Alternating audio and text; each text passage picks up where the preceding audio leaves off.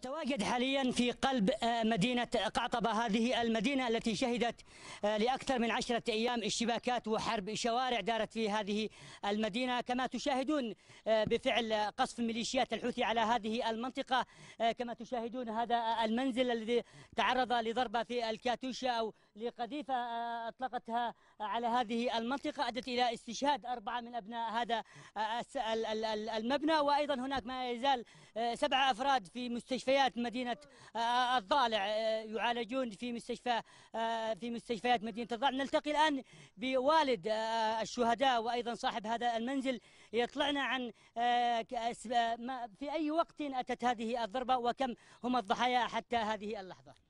الضربة بقت في العشن و- وإحنا جالسين في البا... آه، الناس في الغرف وناس في المطابخ وناس في الصالات وجاءت لنا الضربة واستشهد علينا أربعة آه، أربعة شهداء ومعنا سبعة جرعى في آه، مستشفى آه، الألماني في عدن ومستشفى صابر. والآن نعاني من دون منازل من دون دعم من دون آه، علاجات لبقية الجرحى.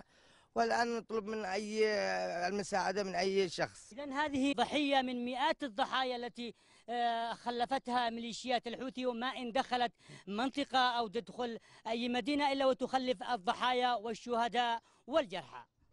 محمد مريسي قناة بلقيس من وسط مدينة قعطبة محافظة الضالع.